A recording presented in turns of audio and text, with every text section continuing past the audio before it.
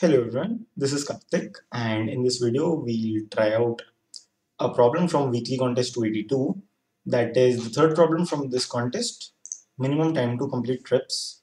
And this is the point I would recommend you guys to pause the video read the problem once try to do it maybe take 10-15 minutes.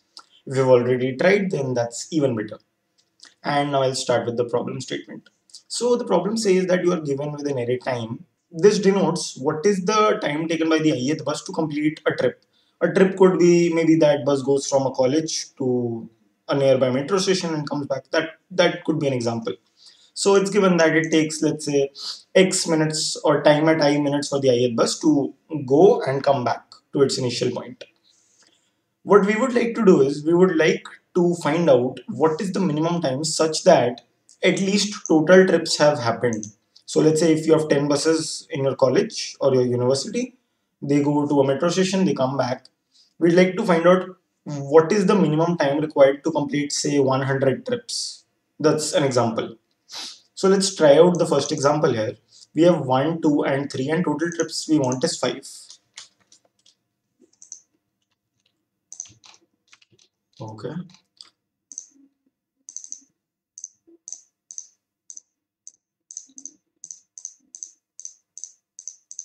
Yeah this should good so we have three buses. One takes one minute other take two then third one takes three minutes. We want five total trips to be completed. So let's see. If i talk about trips completed at zero time that could be f of 0 equals to 0 because no trip started no completed.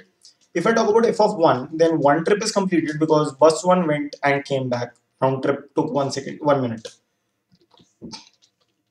how about f of 2? It would be that first bus has completed two trips by now and the second bus completes one trip. So it's 3. If you talk about f of 3, now if you think about it, bus 1 completes one more trip, bus 2 will not complete any more trip, but bus 3 completes another trip, so it becomes 5. So 3 minutes is the right answer here and I don't really need to go further for F4, F5, F6 because I've found out that in three minutes I will be able to complete at least five trips. And that is the answer right? So I hope you get the problem statement. And the obvious solution here seems to be that if you're looking for this value let's just keep computing this f value all the way down till my f of x till my f of x becomes greater than equal to the total trips that is given in the problem statement. That's exactly what I did here. Now let's think about the time complexity that would actually incur if we do this one by one. So before that, let me look at the constraints again. Constraints say that the time length is okay. And it could take up to 10 past 7 minutes for a bus to go and come back. That's a long time. Maybe it's seconds or whatever it is and there could be around 10 power 5 buses. So you could do this in a brute force manner. You could find out what is F0. Does it is it greater than equal to total trips? Maybe not. F1 is it greater than equal to? Maybe not. Keep doing that. And every time you look at F of I, what would you do? You would see summation or sum of number of trips completed by the first bus trips by bus 1 plus number of trips completed by bus 2 and so on till the nth bus isn't it?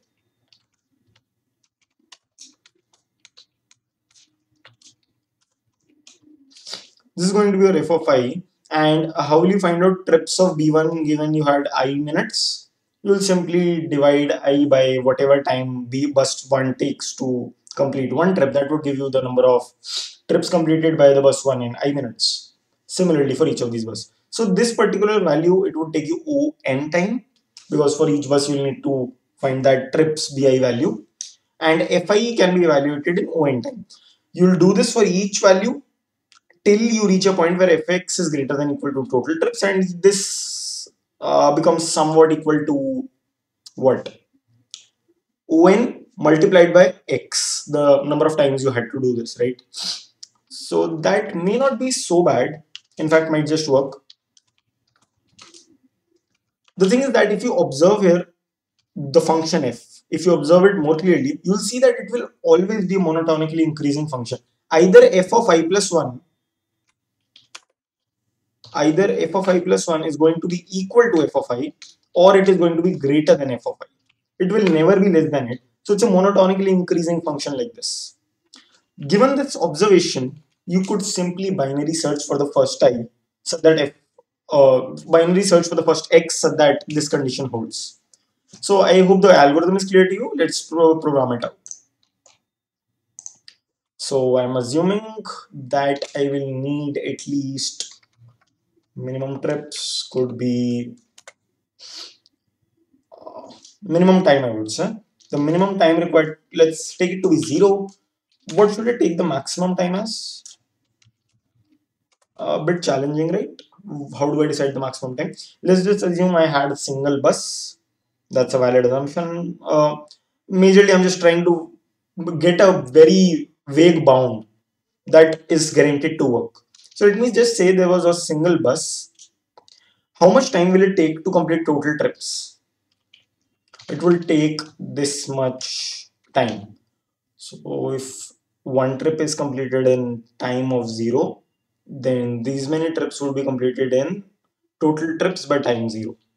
Right. So if total trips is five and time taken is one, so it would be five by one. That is, I would take five minutes to complete five trips using one bus. So worst case scenario, even if I just had that single bus, my maximum time cannot be larger than this. That, that I'm sure of. It's actually going to be much smaller, but I think I'm fine with this bound.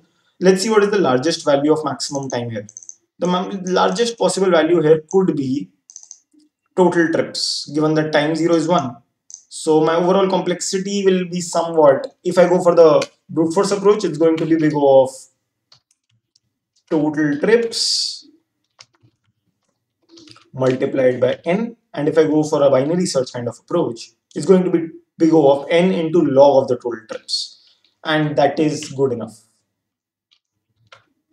So this is the complexity we're going for and let's implement it now.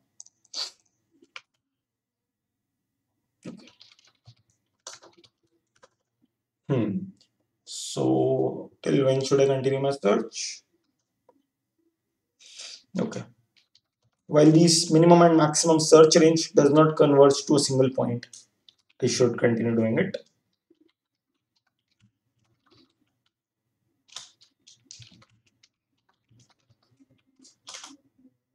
Okay. Well minimum time is the maximum time? Let's see what is the the midpoint. Mid time could be maximum time plus minimum time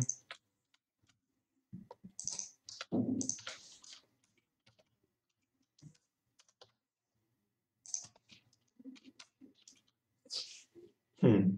Now I would see whether at mid-time I complete more than equal to total trips or not. Or let's just find out how many trips I completed here. Trips can be completed or maybe trips completed at mid-time equal to get completed trips. I'll implement this method later on. I'll just pass in the time that I have and the time taken by each bus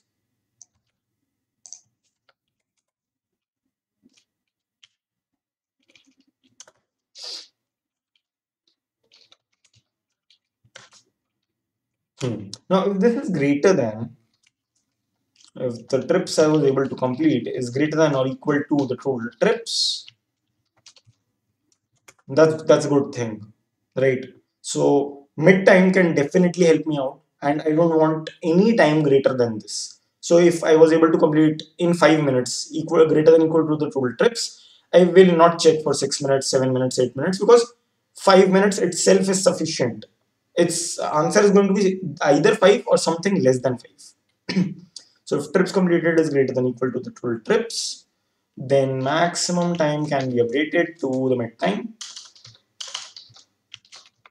But what if it's less than it? In that case, 5 can definitely not be the answer. Let's say I check at 5 and uh, in 5 minutes I was able to complete less than the total trips, then 5 can definitely not be the answer. It's going to be something greater than 5 maybe 6 maybe 7 So at that point, I should update my minimum time to be mid time plus 1 because mid time can definitely not be the answer. So I exclude it from my search range. So once that is done, I could simply return either minimum time or maximum time. Any, in I, both of these would be at the same value. Let me think about that. Would that be the case? Minimum time. Uh, yes, that that looks right to me. And that's all. I just need to implement this method now.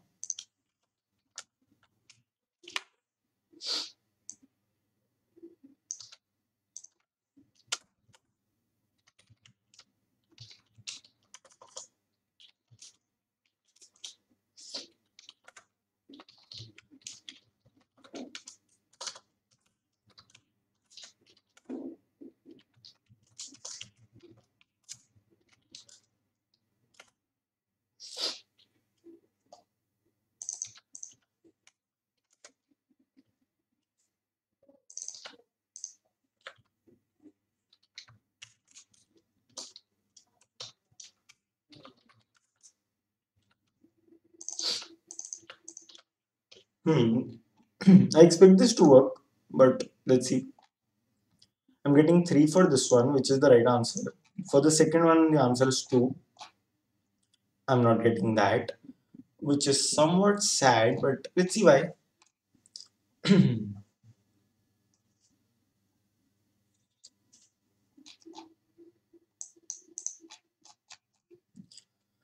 the second trip, in the second example, I want to complete one trip um, time taken by one bus to complete it as 2 I think I made some mistake here.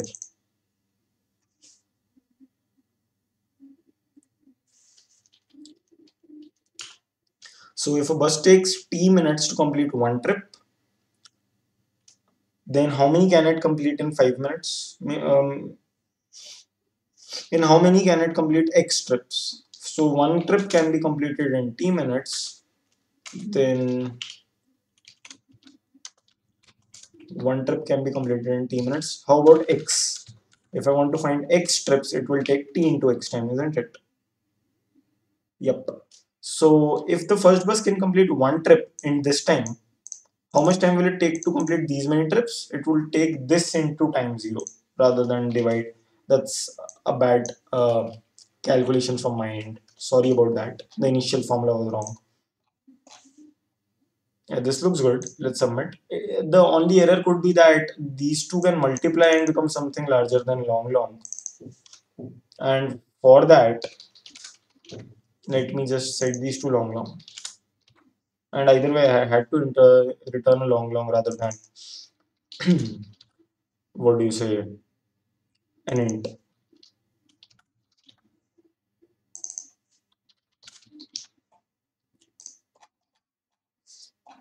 It's still a runtime error, which is sad. cannot be converted in type int. Hmm. Where am I even using it? Line 13. Oh.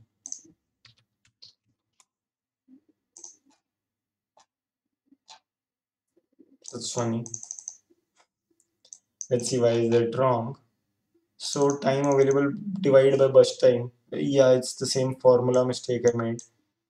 It should be that uh, given this much time, how many trips I can complete. No, that, that's right.